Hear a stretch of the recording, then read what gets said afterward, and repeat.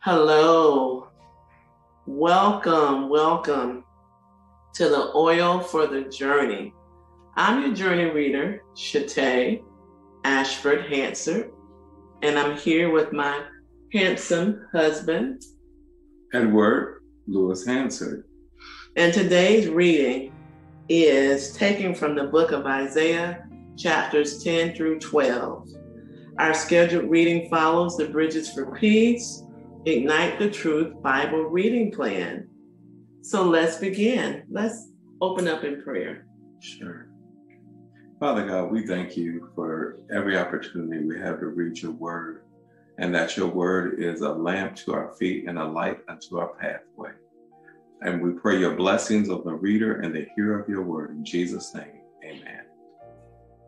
So let's begin with Isaiah chapter 10. Woe to those who decree unrighteous decrees, who write misfortune which they have prescribed, to rob the needy of justice, and to take what is right from the poor of my people, that widows may be their prey, and that they may rob the fatherless. What will you do in the day of punishment, and in the day and in the desolation which will come from afar? To whom will you flee for help? And where will you leave your glory? Without me, they shall bow down among the prisoners, and they shall fall among the slain. For all this, his anger is not turned away, but his hand is stretched out still. Woe to Assyria, the rod of my anger, and the staff in those hand, and whose hand is my indignation. I will send him against an ungodly nation, and against the people of my wrath I will give him charge to seize the spoil, to take the prey, and to tread them down like the mire of the streets. Yet he does not mean so, nor does his heart think so, but it is in his heart to destroy and cut off not a few nations, for he says, Are not my princes altogether kings? Is not Calno like Carmish, Karsh? Is not Hamath like Arpad? Is not Samaria like Damascus? As my hand has found the kingdoms of the idols, whose carved images excel those of Jerusalem and Samaria.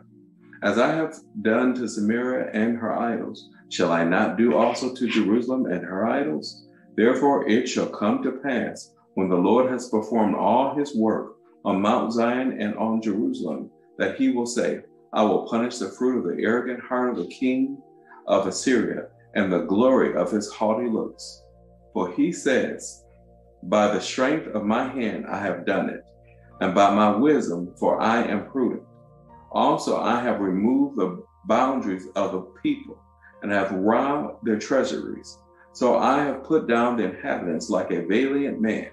My hand was found like a nest the riches of the people, and as one gathers eggs that are left. I have gathered all the earth, and there was no one who moved his wing, nor opened his mouth with even a peep. Shall the axe boast itself against him who chops with it?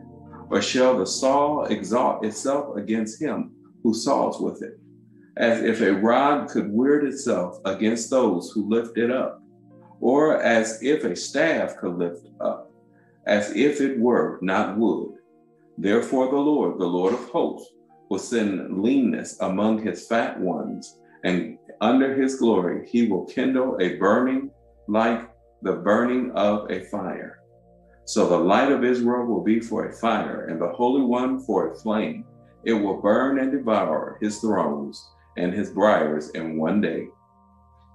And it will consume the glory of his forest and, and of his fruitful field, both soul and body, and they will be as when a sick man wastes away. Then the rest of the trees of his forest will be so few in number that a child may write them. And it shall come to pass in that day that the remnant of Israel and such as have escaped of the house of Jacob will never again depend on him who defeated them but will depend on the Lord, the Holy One of Israel, in truth. The remnant will return the remnant of Jacob, to the mighty God. For though your people, O Israel, be as the sand of the sea, a remnant of them will return. The destruction decreed shall overflow with righteousness. For the Lord God of hosts will make a determined end in the midst of all the land.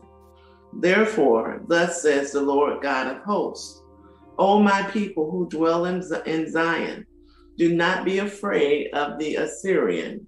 He shall strike you with a rod and lift up his staff against you in the manner of Egypt. For yet a very little while, and the indignation will cease, as will my anger and their destruction. And the Lord of hosts will stir up a scourge for him, like the slaughter of Midian, at the rock of Oreb, as his rod was on the sea. So will he lift it up in the manner of Egypt. It shall come to pass in that day that his burden will be taken away from your shoulder, and his yoke from your neck and the yoke will be destroyed because of the anointing oil. He has come to Aiath. He has passed Mig- Migron. At Michmash, he has attended to his equipment. They have gone along the ridge. They have taken up lodging at Geba. Ramah is afraid. Gibeah of Saul has fled. Lift up your voice O daughter of Gallim. Cause it to be heard as far as Laish. O poor Anathoth, Madmenah has fled. The inhabitants of Gebim seek refuge. As yet he will remain at Nob that day. He will shake his fist at the mount of the daughter of Zion, the hill of Jerusalem. Behold the Lord, the Lord of hosts, will lop off the bow with terror. Though those of high stature will be hewn down, and the not and the haughty will be humbled. He will cut down the thickets of the forest with iron, and Lebanon will fall by the mighty one. Isaiah chapter 11. There shall come forth a rod from the stem of Jesse and a branch shall grow out of his roots. The Spirit of the Lord shall rest upon him the Spirit of wisdom and understanding, the Spirit of counsel and might, the Spirit of knowledge and of the fear of the Lord. His delight is in the fear of the Lord, and he shall not judge by the sight of his eyes, nor decide by the hearing of his ears, but with righteousness he shall judge the poor, and decide with equity for the meek of the earth. He shall strike the earth with a rod of his mouth, and with the breath of his lips he shall slay the wicked. Righteousness shall be the belt of his loins, and faithfulness the belt of his waist. The wolf also shall dwell with the lamb. The leopard shall lie down with the young goat, the calf and the young lion and the fatling together, and a little child shall lead them. The cow and the bear shall graze the young ones shall lie down together, and the lion shall eat straw like the ox. The nursing child shall play by the cobra's hole, and the weaned child shall put his hand in the viper's den. They shall not hurt nor destroy in all my holy mountain, for the earth shall be full of the knowledge of the Lord, as the waters cover the sea. And in that day there shall be a root of Jesse, who shall stand as a banner to the people. For the Gentiles shall seek him, and his right and his resting place shall be glorious. It shall come to pass in that day that the Lord shall set his hand again the second time to recover the remnant of his people who are left from Assyria and Egypt, from Pathros and Cush, from Elam and Shinar, from Hamath and the islands of the sea. He shall set up a banner for the nations. He will assemble the outcasts of Israel and gather together the dispersed of Judah from the four corners of the earth. Also, the envy of Ephraim shall depart, and the ad- adversaries of Judah shall be cut off. Ephraim shall not envy Judah, and Judah shall not harass Ephraim. But they shall fly down upon the shoulder of the Philistines toward the west. Together they shall plunder the people of the east.